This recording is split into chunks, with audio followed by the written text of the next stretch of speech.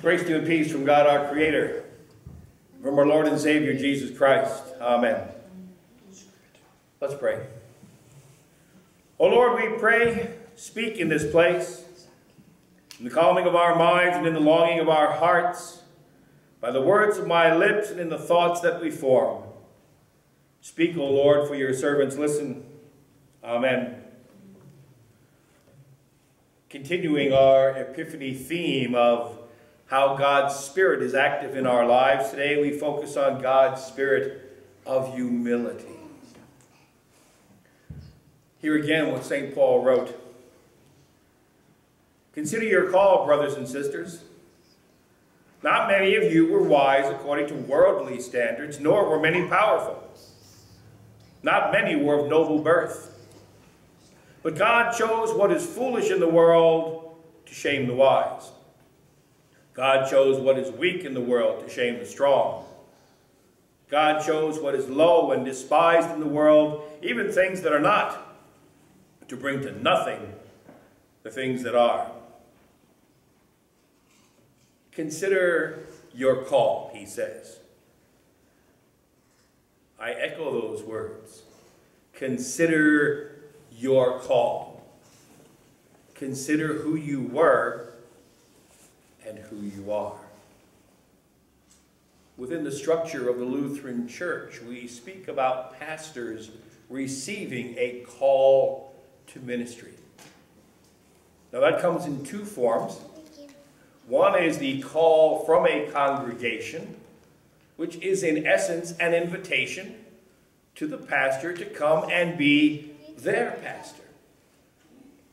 But long before that moment ever occurs, there is the call from God, where the pastor feels without doubt, well, maybe a little, that he or she has been invited by God to serve as one of God's shepherds and to care for God's sheep. Now, you may think to yourself, you're not qualified to receive a call from God you may feel you don't have any skills or abilities to serve the church. I'm not an eloquent public speaker, you might say. I'm uncomfortable going up to people and talking to them about my faith. I don't know a whole lot of Bible verses. Oh God, if they ask me questions, I'm going to feel so scared. Consider these words. The message of the cross is foolishness to those who are perishing. But to those who are being saved, it is the power of God. God didn't choose you because of your high qualifications, but rather His. He didn't choose you because of your talents and abilities. He chose you because of the gifts He was planning to give you. You've heard me say many times before, God doesn't call the qualified to ministry. Rather, God qualifies those whom he has called. God has chosen to do a confounding thing by picking you for ministry. You might think to yourself, who, me? Well, guess what? I feel the same way. God picked me, smart aleck kid from New York City, whose dreams were to be a professional baseball player, despite a profound lack of ability, to serve God in the kingdom, to be his messenger.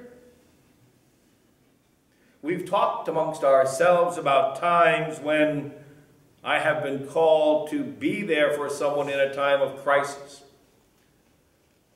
And you would think that perhaps I might be anxious in those moments, wondering what I'm going to say. I don't know what to tell these people. Well, guess what? That's my prayer at that time. Oh Lord, I don't know what to say to these people. Use me. And in every single instance, God has given me words to say. Sometimes it's no words at all. Just sit silently and be sad with them. But in the same way, God has chosen you to be his messenger and spokesperson throughout each day of your life. You may never be called to sit at the bedside of a dying individual and share words of comfort or hope. But each and every day, each and every one of you crosses paths with someone who needs to hear what you have to say. And they'll probably hear it better coming from you than they would from me. You're a student, right? You're not a student. Okay, but you've been to school. Okay, good. Because otherwise this illustration goes nowhere. If you like, you know, brought up in a basement and, and, and never brought up into the outside world until this morning. I teach high school. And sometimes the students don't get what I'm saying. And I might try a couple of times to share with somebody, like Santiago, what the lesson is supposed to be, but man, I just can't get through to him. You know how he is. Typically what I'll do for little Santiago, who sits there in my class and can't understand what I'm trying to teach, is to get another student to share it with you. Because typically one student can talk to another in a language and in a way that I can't. Make sense, right? Okay. Well, you've all been called to be evangelists. You've all been called to share the gospel. And God's not asking you to do it like I do. God's not asking you to do it like St. Paul or St. Peter. He's asking you to do it like you do because you have been chosen. You with all your worries and anxieties about the future. You with your grade school education. You with your bad back and your aching neck and feet. You with your private thoughts and your secret past. You with your desperate needs and your hidden fears. Just as so long ago, Jesus chose Peter with all his bull-headed, stubborn bravado, or Matthew with his unsavory background as a tax collector, or Simon, the zealot, the political radical, or James and John, fishermen with a strange ambition to be the greatest in the kingdom of God, or Paul who set out to destroy the Christians and wound up being their greatest missionary. The Lord chose nobodies to be the leaders of his new church, the first to witness the miracles, the first to spread the good news about what Jesus had said and done. We all look for wholeness. We all look for salvation. Some look to God, but not all. Some look to other things in this world. They look for better jobs, bigger paychecks, more interesting hobbies, different marriage partners.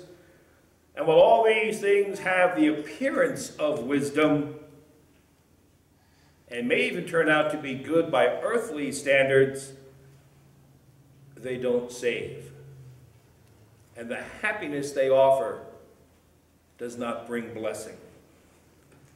In Corinth, the church was divided because people picked one individual or another as their spiritual leader rather than Christ being the center of the wheel. Or they argued over who had what gift instead of being thankful that God had blessed them. They argued about everything, as a matter of fact. Sounds a whole lot like the church today. I've got an individual that I've been talking to for quite some time who is frustrated by the fact that we can't agree about things. And I've told that individual, if you think that's frustrating when you and I talk, try coming to the Synod Assembly with me and watching hundreds of Lutherans from the same part of the country disagree on the punctuation of a resolution. Now, before you chuckle at us, keep in mind that historically, the Jewish rabbis argued for several hundred years over whether eating food with false teeth violated the Sabbath commandment, because teeth were made of wood, and grinding food with wood was considered labor, and labor was prohibited on the Sabbath day. Therefore, if you eat food with wooden teeth, are you not violating the Sabbath day? Pick the dopiest things to make the basis for our argument. So, there are always differences of opinion. There always will be differences of opinion. And Paul writes to them and he says, I didn't come to you with eloquent words or fancy philosophies. I came knowing one thing Jesus Christ and Him crucified. God has chosen the foolish of the world to save it. He has chosen what seems insignificant to be the messenger of the greatest gift of all, God's love.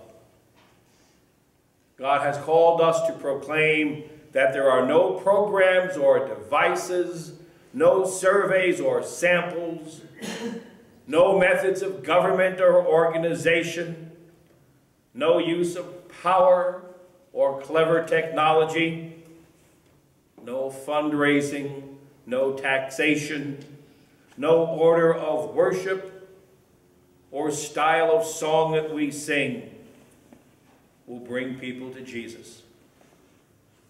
The one provenly effective means is the sharing of one person whose life has been touched by Jesus and sharing that with another person. What God requires is that we act justly, love mercy, and walk humbly with our God. Now may the peace of God, which passes all understanding, keep your hearts and minds through faith in Christ Jesus. Amen.